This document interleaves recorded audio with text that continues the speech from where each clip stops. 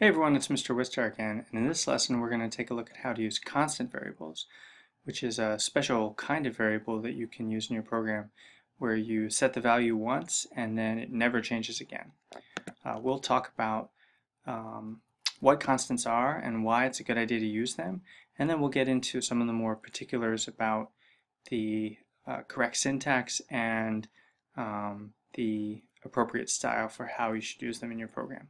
So just to recap, constant is a type of variable, and as we've talked about in the past, a variable is uh, it's a container that you can use to store a value that you plan on using later on in your program.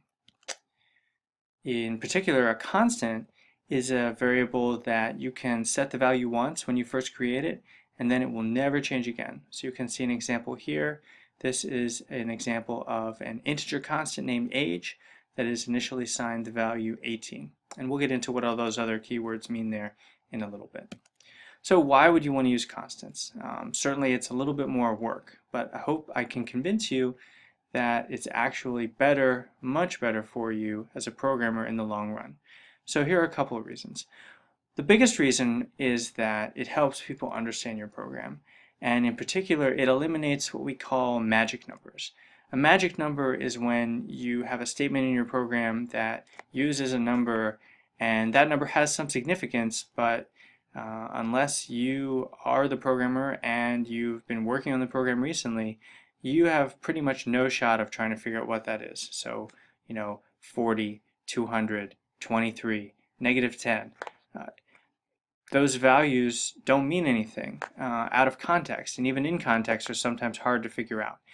Instead, if you have a variable with a name, then you can just look at the name and remember, oh, okay, I remember what that value is supposed to represent. Um, so that's why it's good for your users. There's a couple of reasons why it's also really useful for you as a programmer. One thing is uh, it uh, prevents you from mistyping the number in case you have to type it over and over again. So if you use the same value 20 times and you type it in, chances are, you know, one out of those 20 times you might transpose the number or mistype one of the digits. That's impossible to do if you use the name of a constant. So that's why one of the reasons why it helps protect you as a programmer. Uh, another reason why it's helpful as a programmer is it just saves you time. So let's just say in that same example you're using the same value in 20 different places in your program and then you decide tomorrow that instead of being 20 it should be 25.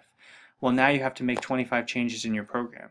If instead you had used a constant variable and use the name of that constant 20 times in your program, then all you would have to do is go up to the line where you assign it its initial value and change it from 20 to 25. So right there, constants can give you a big economy of scale if you happen to be using the same value a lot. And again, you know, sort of as I said, it just makes your program easier to read. Uh, the more, the less time you have to spend translating the code into understanding, the faster you can understand it. Okay, hopefully I've convinced you. If I haven't and you're one of my students, you're not going to have a choice. Let's talk about how to actually do it. This is the typical syntax for creating a constant in your program. A lot of this should look pretty familiar. Uh, the last three parts of that are the same as what you would use to create any primitive type. So if I was going to create a float, for example, I would say float temperature gets 98.6. That doesn't change. In order to make it a constant, I need to add those other three keywords. So let's just go through and talk about each one of those just very briefly, because each one is significant. Um, the word public simply means that other classes besides the file that you're in right now can access and use that value, which you will see when you start to work on medium to large size projects is really important. The final um, is probably the most important. I put it there in bold. Final means constant. If your variable is not declared as final, then it is not a constant. And if it is declared as final, you can't change it. Last but not least, um, there's static. And I don't want to get into a lot of detail about that in this lesson because it's a pretty advanced topic. Uh, but just for your purposes right now, know that a static variable only gets one copy in your program no matter how many times it gets used or how many classes use it. And that can be helpful um, because it just saves a little bit of space in memory. Okay, and the last point, um, which I put in a big note in front of, is that this whole syntax is actually something that should happen outside of the main method. Um, normally, programmers will place their constants at the very top of their class, right underneath the word public class foo, um, and right underneath the curly brace. So the very first thing before you even get to public static void main should be your constants. And you'll see that in the example we look at. Last thing before we get to the program is about some issues of good style. Uh, generally speaking, programmers use all capital letters for their constants. And the reason for that, I think, should be pretty uh, self-evident. It helps you look at the name of a variable and figure out that it's a constant. Um, it's not a requirement, but it does make your program a lot easier to understand. So make sure you should make sure that you use caps with your constants. As a upshot of that, with constants, we typically use underscores in between the words. And the reason is that we can't upcase the first letters of the words like we would normally with a variable. And sometimes if you have a constant with multiple words in the name, they can all kind of run together. So do yourself and the program and the people who read your code a favor, use underscores. Um, it should probably go without saying by now, but pick names that are meaningful. Remember that 7 to 15 character um, size is sort of the sweet spot, so don't be afraid to skimp um, it's good to make sure that your constant makes sense. And then the last thing is that it's important that you write a javadoc comment above each constant with just a one line, very brief description of what its purpose is. And you can see an example of that here.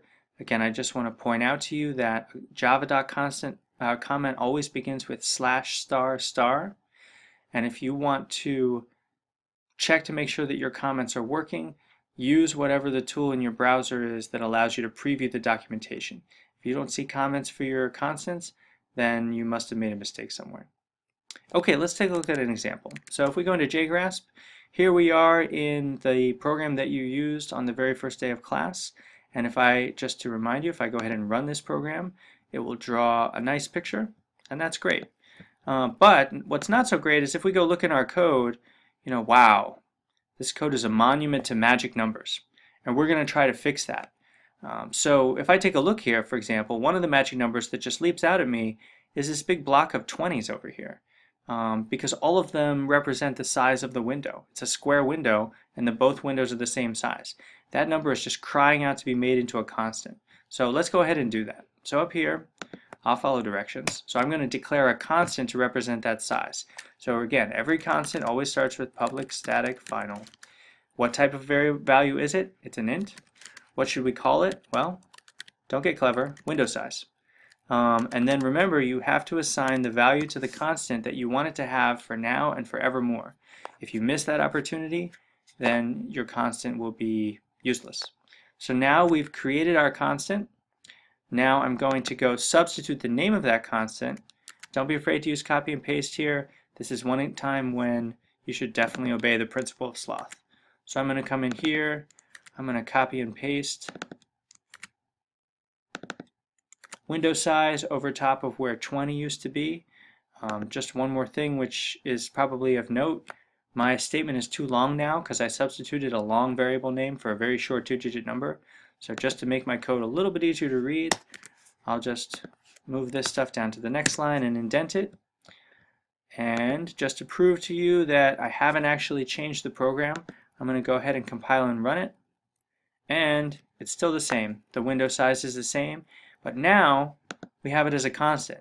And just to illustrate the point that I was making for you earlier, let's say I came in tomorrow and I thought, wow, these windows are way too small. Well, now instead of having to make four changes, I only have to make one. Uh, once I change that variable from 20 to 40 and I run my program again, everything gets changed. Now my windows are now my windows are a little bit bigger. So this is a good example of how you can use constants in your program. Remember that a constant is a variable that can't change. Remember that it can save you and the people who are trying to understand your code a lot of time and anguish. Um, the syntax for creating is pretty much the same as a normal variable with just some extra keywords thrown in front. Normally we put our constants in all caps uh, and if you follow those rules you should be in good shape. Alright,